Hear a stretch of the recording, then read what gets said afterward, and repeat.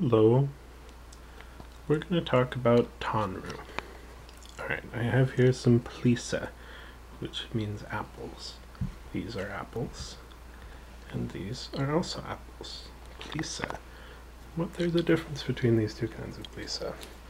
These plisa are xunre, and these plisa are crino, green and red. Alright, so we can, you can't see it, but every gismu and every brivla comes with Tanru glue on it from the from the brivla factory. Alright, it has it has Tanru glue on either side of it. And whenever it comes in contact with another gismu, with another brivla, they stick together and form a Tanru. So if you put these next to each other, boop, you get a Tanru. The whole Tanru is something, it's all a plisa. And this part of the Tanru is um, describes what kind of plisa it is. It's an apple that's related to something xunre, that's related to something red. In this case, it's related to it by actually being red itself. So we could put a jet in here, this that which would that's an and for Tanru, and that's that would say explicitly this is red and an apple. Hunra je please. But you don't have to put the and. You can just say Crino please.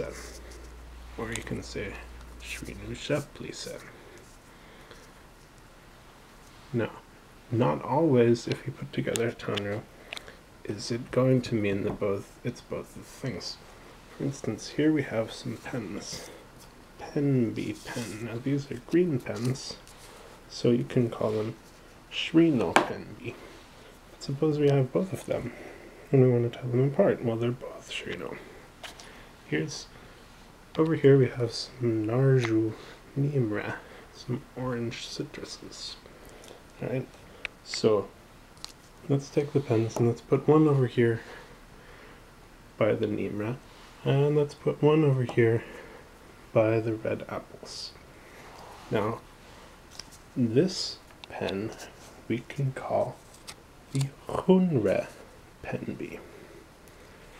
It doesn't mean that it's a red pen, it's a green pen, but it can be the Xunre penbi because something distinctive about it is that it's related to something red. It's it's the one that's near the apples.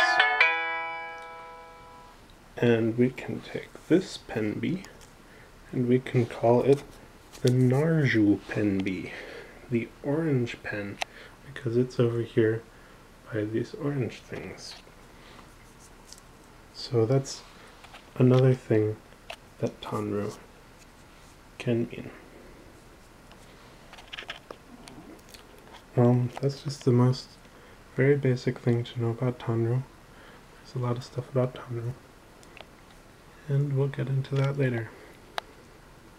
Shoho.